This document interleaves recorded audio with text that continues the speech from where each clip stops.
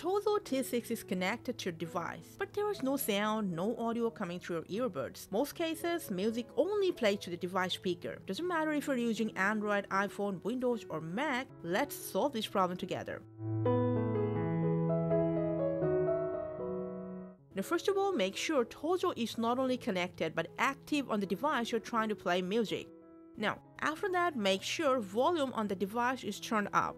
Now if you're using an iPhone instead, follow the same process on that phone. And in addition to that, swipe down Control Center.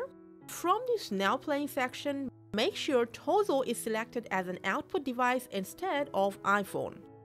If you're using a Windows, from Settings to System to Sound, just make sure Tozo is selected as an output sound device. At the same time, scroll down and if you're going to use Tozo for phone calls or meetings, make sure it's selected as an input device as well.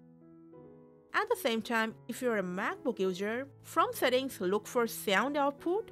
Under the output tab, make sure Tozo is selected as output device and it's not accidentally muted. You can turn up the volume if needed. Your no sound problem will be solved after that.